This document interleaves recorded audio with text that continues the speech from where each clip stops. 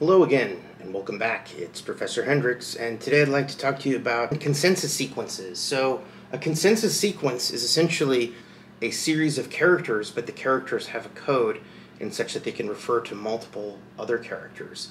So, let's take a look at that. So, first off, we have IUPAC codes for the nucleotides. And so, in the first column of this table, you have the IUPAC code. And so, for example, the, the the letter R here refers to either A or the letter G, and the letter Y refers to either C or T. And so what's going on here is is R refers to purine and Y refers to pyrimidine. That sounds a little weird. Why why the weird choice of uh, which character they use as, as the representative character? But it kind of makes sense because they both start with P, so you can't use P. Purine, the next character is a U, so you can't use U because that's also a nucleotide, an RNA nucleotide. And then the third character is R, and so you basically end up with R and Y to refer to purine and pyrimidine. There's basically no other good choice there. Other other common letters you might see are W and S for weak and strong. W refers to either A or T, so in other words, uh, nucleotides that have two hydrogen bonds, and S refers to G or C. Other, in other words, nucleotides that have three hydrogen bonds, a little bit stronger base pairing. And there's other letters, you know, K and M are also kind of common G or T or A or C. And then you have these uh, threefold characters. And so in, a, in each of these examples, they refer to excluding the character that precedes them in the alphabet. So B refers to everything except A. So it can be C, G, or T. And D refers to everything except for the letter C.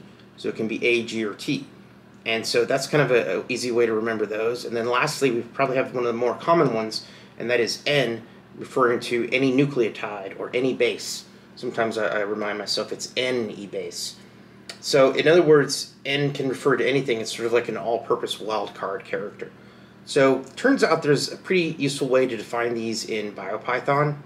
So if I were to enter, say, the Python terminal, and say I had a couple of sequences that were um, probably an instance of a motif. So what I might do is I might do from bio.seq import Seq. Going to need the seq object, and I also import motifs. So from bio import motifs. Now we haven't seen the motifs module yet, and I'll come back with another video on motifs uh, next on how to how to use it to define a weight matrix. But today I'm going to just use it to define a consensus sequence. So say I have um, a couple of examples. So maybe what I might do is I might uh, do motifs. I might create a list, and so my list is going to be I'll just call it L, but it's essentially a list of the instances of the motif. These are DNA sequences that are defined as instances of the motif, so I might do L.append, and I'll append directly a seq object for some sequence. I'll just do ACT, and then maybe I'll do ACT again, and then maybe I'll do ATT,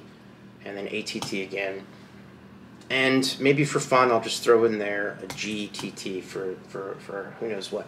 So now I've got my list of seq objects. So this is just a list of ordinary seq objects, DNA seq objects. And so what I want to do is I want to use motifs.create. So I'm going to define a motif as motifs.create. And I'm going to give it L, my list of instances. And then that should be basically it. It created a motif object. Now I can't really look at the motif object. I can try printing it out, but that's probably not going to do anything. It's just going to tell me uh, the list of the sequences that I input. And so right now that's that's basically all it is. So maybe one of the attributes of the motif object is those list of sequences, and that's what get, gets printed when you use it in the printing context. Okay, so now what I might want to do is I want to, want to create a consensus sequence. Now a consensus sequence, also called a degenerate consensus sequence, is a DNA sequence that utilizes those special IUPAC codes, these codes right here that we saw in this table. And so in this example, I have C or T in the middle column, and I'm hoping that it's going to define that as a Y. So let's see how, I, what happens if I do this. So I would do motif dot degenerate consensus. And I've encountered a problem.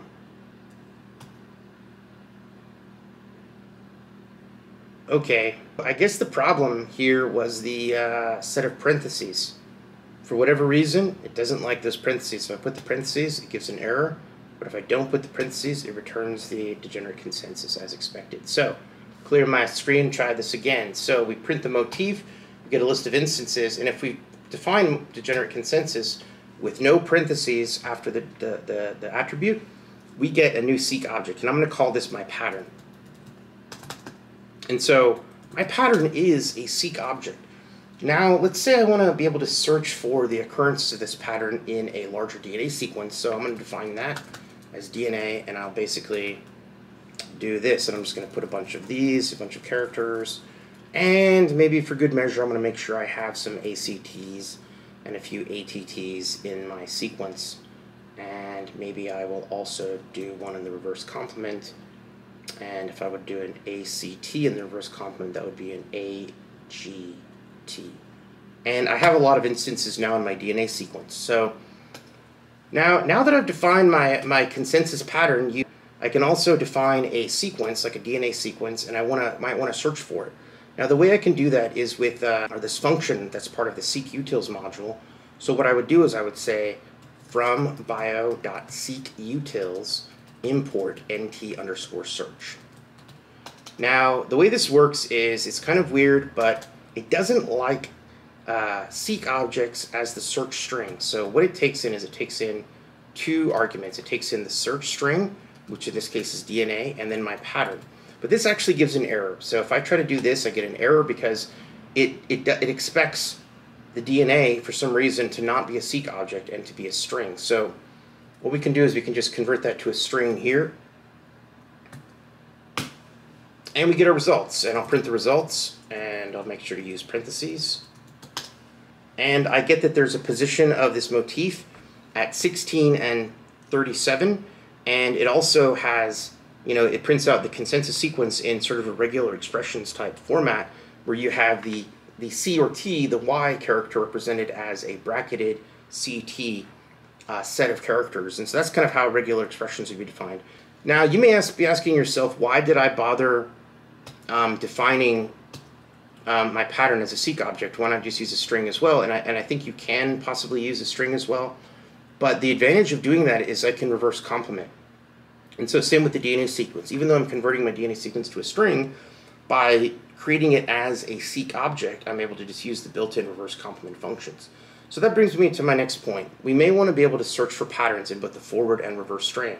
And so there's two ways to search in the reverse strand. One is to search for the forward strand pattern in the reverse complement strand of the DNA sequence. The second is to search for the reverse complement pattern in the forward strand of the DNA sequence. As it turns out, these are essentially the same thing. In this drawing, it kind of illustrates why these are the same thing. So, and it's amazing in a way that this works out with any sort of like off by one, you know, shifting. But if I define pos one as the as the position of the occurrence of the pattern and I guess this would be the reverse complement of the pattern searched in the forward strand. So I guess my my pattern is, uh, I guess, the reverse complement of ACT. So in other words, AGT. And if I search for the, fo the, the forward strand of the pattern in the reverse complement of the strand, I'd get POS 2. And so there's my AGT right there. And so, as you can see, if the pattern has some length, length of pattern, if I were to take the length of the sequence that I'm searching, subtract pos 2, and then subtract the length of the pattern, I would get pos 1. So let's try this out. In other words, what I'm going to do is I'm going to search the reverse complement of the pattern and get a list of results. And so I'm going to call that results underscore RC1 for reverse complement 1. And I'm going to do pattern dot reverse complement. And like that.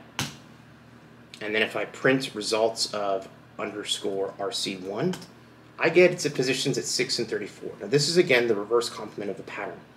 Now another way I can do this is I can reverse complement the original DNA sequence.